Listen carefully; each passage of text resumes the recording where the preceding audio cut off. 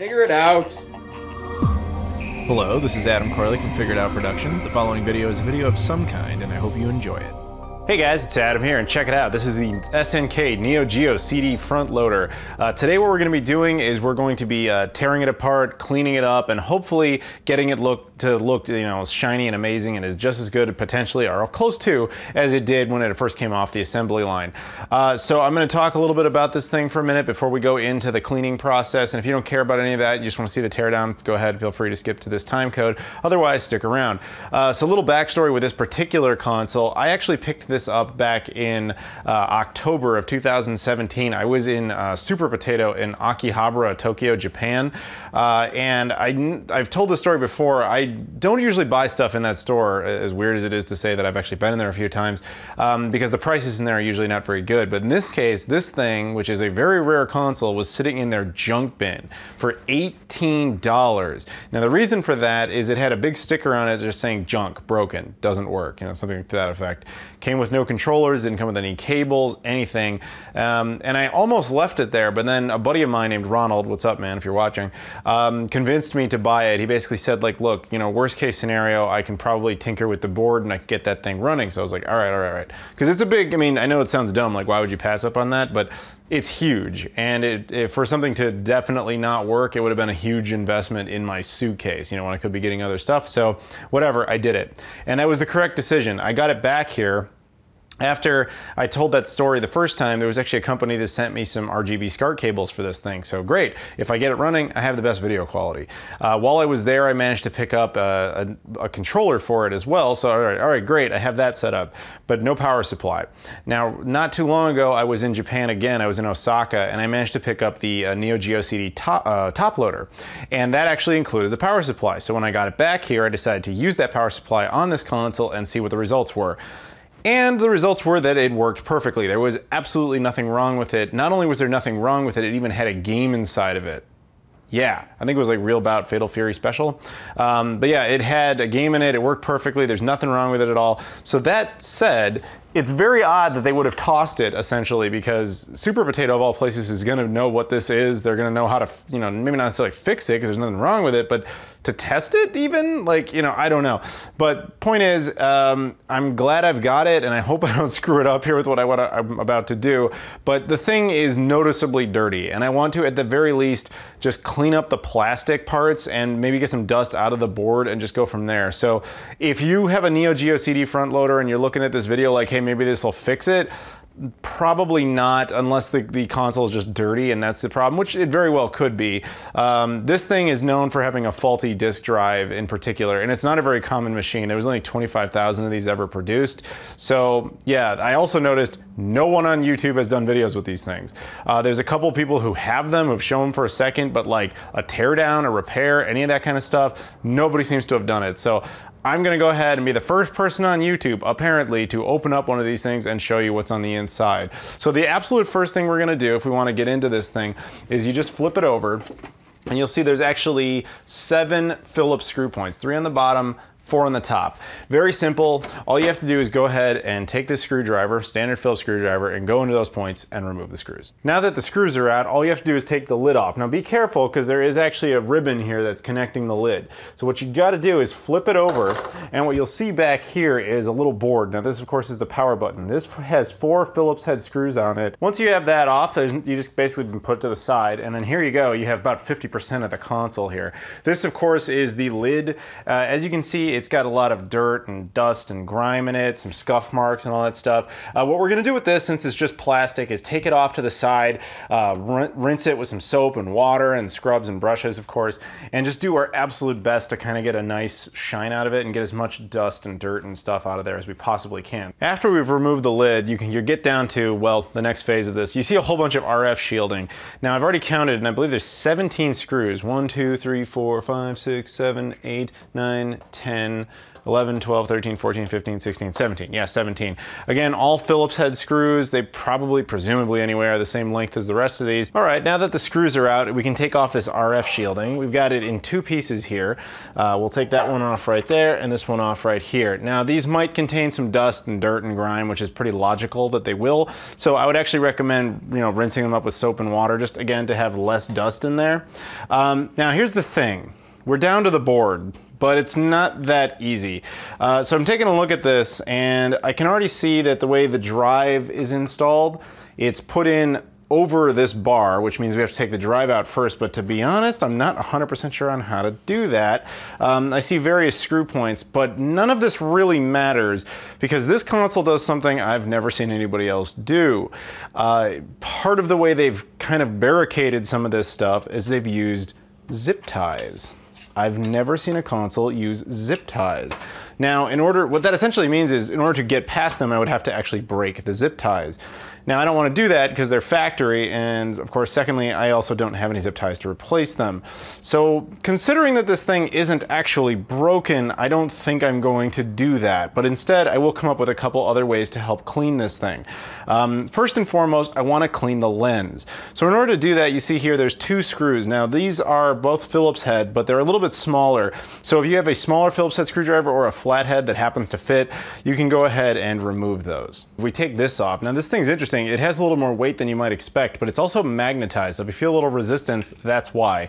So there's not much to do with this thing. You can wash this if you want, soap and water. Uh, just make sure, of course, that you let it sufficiently dry afterwards, just because you know, this thing's gonna be very close to the lens.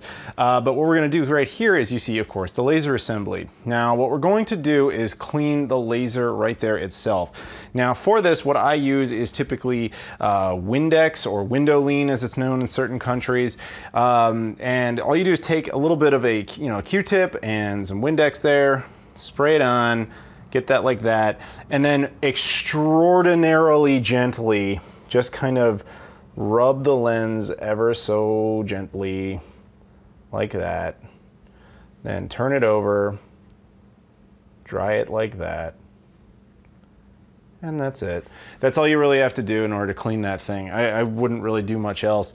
Um, now you can do some spot cleaning in there if you want. Like I see a little bit of dust here, so I'm probably gonna kind of fish that out a little bit. But uh, beyond that, you don't really want to mess with this too much unless you're actually having problems with it, which of course I'm not.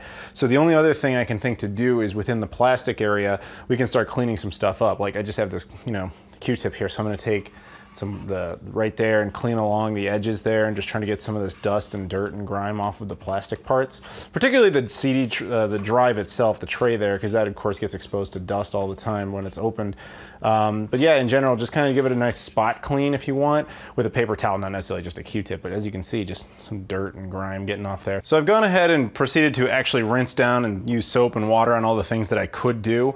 Uh, and this didn't make much of a difference, but there was some dust on there, getting, you know, more of the RF shielding. You don't really need to dust those, but you know, it's good to do.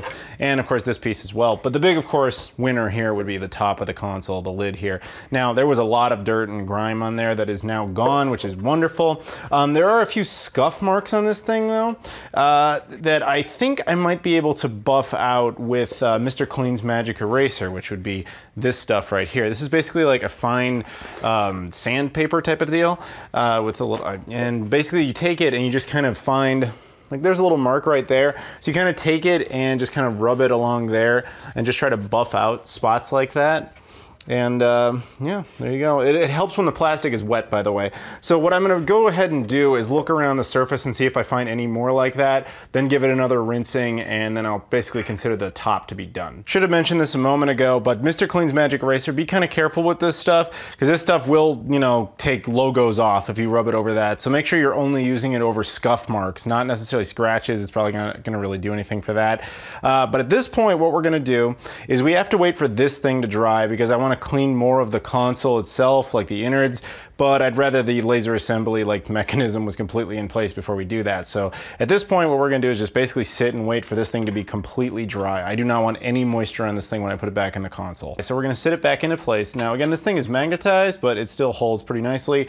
Uh, also, we're just gonna go ahead and take these two screws and put them back into place. Remember, these are the only ones that are different, at least of the ones we've taken out. So now that that's back in place, I wanna clean the console as much as I can. Again, it's unfortunate that I can't actually get to the bottom piece and actually clean it up the way I'd like, but it's not worth the risk, especially because of those zip ties. So what we're gonna do is just do some spot cleaning.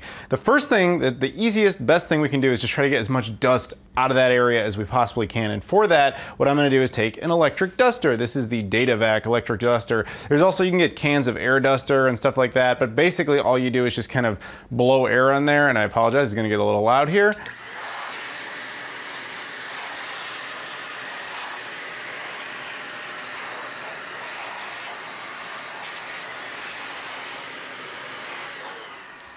Yeah, that's power. Now, uh, in my particular case, most of the dust seems to have accumulated in the back here, which makes sense. You're near open air, open ports. So I'm gonna focus a little bit more back there. It's not too bad up in front. I just kind of gave it a general go. I'm also definitely not going to aim it into the laser assembly though. So I'm just kind of leaving that alone. I'll leave that up to more precise spot cleaning, but I'm gonna continue with this on the board and just see if I can get anything else out of there. So after that, the only thing I can really think of to do here while we still have this open is to just try and get more dust out of tighter places. So again, I'm gonna take some Q-tips and just kind of use them to wipe around certain areas. Like back here, there's a nice big clump of dust that's coming off right there, if you can see that.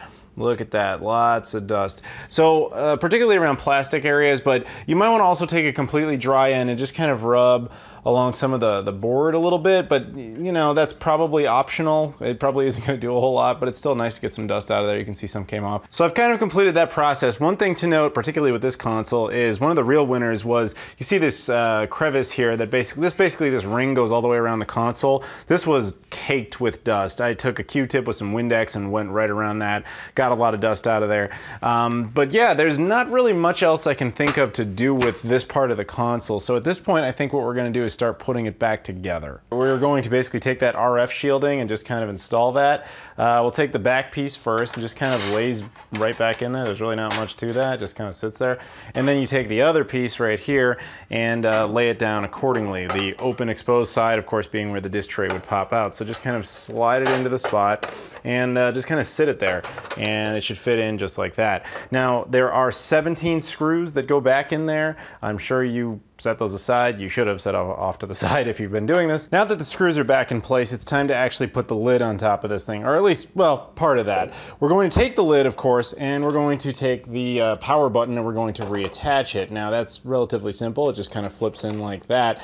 And then as you'll remember, there's four screws, so go ahead and put those into place. And there you go. That's what it'll look like when it's back in place. Now to flip it back over here, you'll also know it's correct when it says power correctly and it's not like upside down or wrong, but I don't think you'll screw it up. There's really only one way to do it. Once that's of course attached, it's time to simply put the lid on top of the console, which is extraordinarily simple. There you go, it just sits right back on. So then we're going to flip it over and you'll once again return these seven screws back into place. All right, now the console is back together and as you can see, the lid is cleaned, it's very far from perfect, it's very dull in a lot of ways. We're gonna work on that in a minute. But as I mentioned before, and as I'm sure you no doubt noticed, I couldn't actually get the bottom part uh, disassembled, so I couldn't properly clean the bottom piece of plastic. So for that, we're gonna go with the backup method, which would be spot cleaning.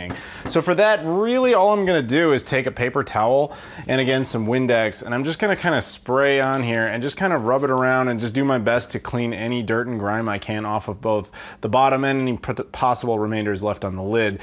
But uh, yeah, really not much more than just kind of doing this basically. And I'm gonna go ahead and rub it around and then we'll see what the results are like. Obviously far from perfect, but there is one other thing we can do to buff this out and make it look a little nicer. I've used this before many times. This is Pledge, specifically Orange Pledge.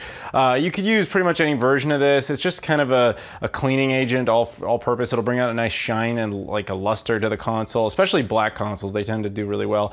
Uh, you can use pretty much any version of this. In some countries, this is called Pronto, uh, but don't use moisturizing. I've heard uh, mixed results with that, but just a regular ass orange pledge is gonna be good. So basically all you do is kind of just take it, you know, like that, and then just kind of spray it around as I did, and then take, you know, a paper towel like this and just kind of go over all the major plastic points and then just kind of let it sit and soak and settle for, I don't know, 10, 15 minutes and then we'll take a look at it. All right, and there we have it. It is all nice and clean as best we could possibly do anyway, anyway all things considered. But uh, yeah, it's looking pretty good, or at least a lot better than it was. Uh, there's still some scarring and stuff that I can't really do much about, particularly on this type of matte finish. I get the feeling if I use Mr. Clean's Magic Eraser on this, it would probably do more damage than good, so I'm not gonna do that, but I've tried my best to kind of clean some of those spots. But uh, yeah, and uh, in general, it's definitely less dusty for sure, shinier and buff, more buffed out.